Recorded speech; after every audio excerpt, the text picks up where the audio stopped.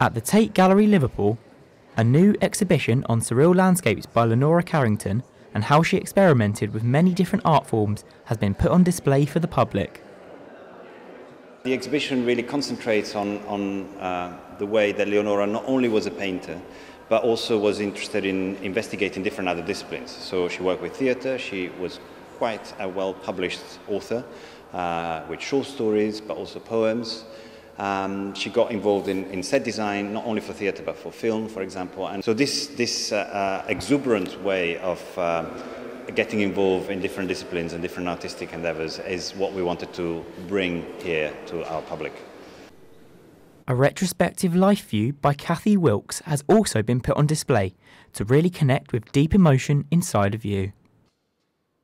It's really, I mean, she's a fascinating combination of someone whose work is intensely personal and really very kind of introspective and concerned with her own family relationships, her relationship with her parents and her children. And so she's fascinated by these moments in life that are kind of critical turning points, like the birth of a child or sitting next to someone on their deathbed. So these things that are really kind of bound up in your own life, but she's interested in trying to somehow make work that is about that, that can help other people to access those moments as well and reflect on them. That she finds absolutely fascinating because they were made by children. So it was this cottage industry where children stencil these ceramics, and she's fascinated by the fact that they still exist and they carry so much sort of.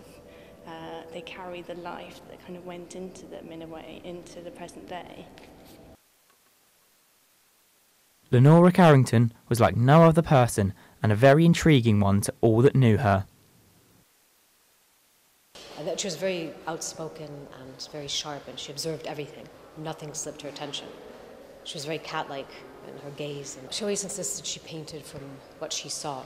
So even the most of the very fantastical landscapes inspired by Mexico, the ancient civilizations, the whole idea of an underworld, that for her especially this exhibition was two artists' interpretation on their view of the world.